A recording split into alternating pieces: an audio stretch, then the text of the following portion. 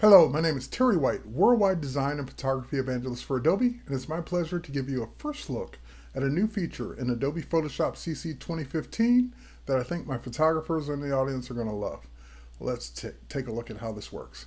Now, what I'm looking at here is a panorama, a typical panorama, especially if you uh, did this handheld, where you're going to have these, uh, once it's stitched together, you're going to have these vacant spots. In other words, where you don't have any image data.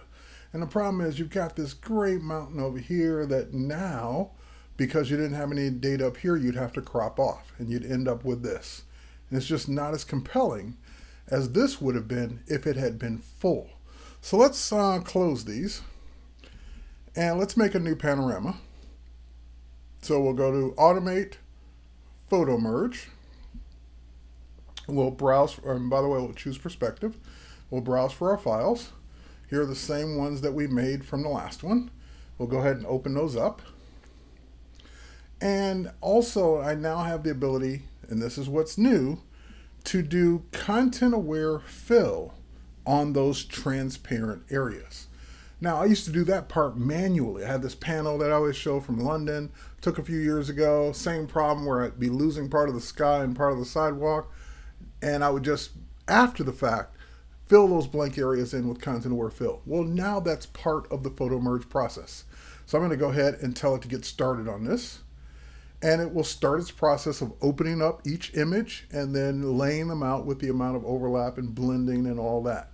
And so this process actually, depending on the size of your images and how many images you have and the speed of your computer and the amount of RAM you have, this could actually take a while to do. Uh, this particular image ends up being quite large so it does take a while to process the whole thing. And it's going through each step, doing the blending and the merging, and then the last step will be the content aware fill. But rather than have you sit here and listen to silence while, or listen to me drone on about it, I'm going to, through the magic of post-production, cut out the middle parts. In other words, cut out this processing part so that, you know, we'll, I'll pick it up at the end where it's just about to finish the progress bar and you'll see the final result. So, be back in a second. And here we are, we're back. So as you can see, it not only created the panorama, it even left the blank area or transparent area selected so it can show you what it filled in. So all this area here at the top would have been gone and all of this area here at the bottom would have been gone. So it did this beautiful content aware fill to give us the full image, which now I can deselect. And I have this full image that I can now save. So thanks Panorama feature in Photoshop CC for 2015, now with content aware fill as part of the process so it does the whole thing automatically. Hope you enjoy it, try it out, and we'll catch you on the next one.